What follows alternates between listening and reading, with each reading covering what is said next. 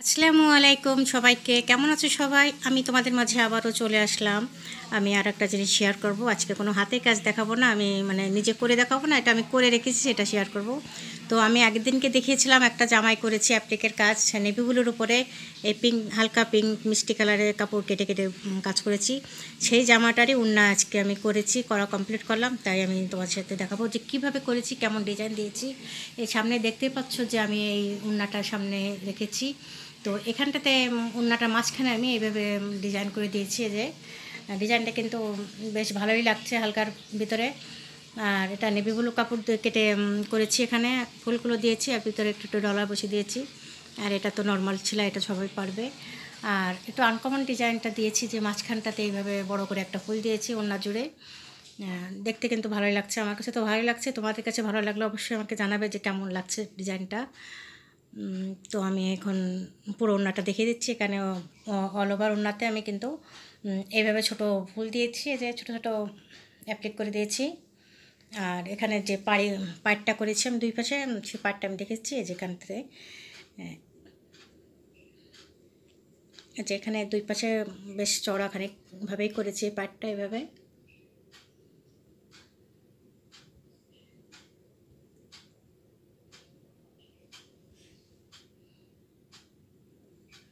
এইভাবে আমি দুই পাশে কিন্তু করে নিয়েছি পাটটা আর ভিতরে যে এইভাবে ঘন ঘন করে কাপড় অ্যাপ্লিক করে বসিয়ে দিয়েছি আর আমি যেহেতু আগের দিন, আগে দেখিয়েছি, অনেকবারই দেখিয়েছি যে অ্যাপ্লিক আমি কীভাবে কাটি, কীভাবে বসাই।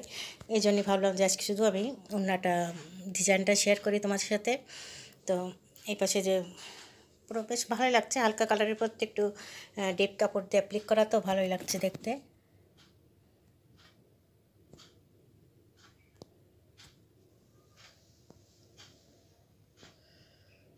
তো আমি যে দেখিয়ে দিচ্ছি কেমন করেছি। তো ভালো লাগলে অবশ্যই আমাকে জানাবে যে কেমন হয়েছে পুরো ওড়নাটা।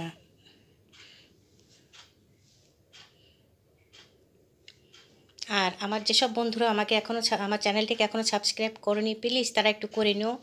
আর যারা যারা করেছে তাদেরকে তো অসংখ্য ধন্যবাদ।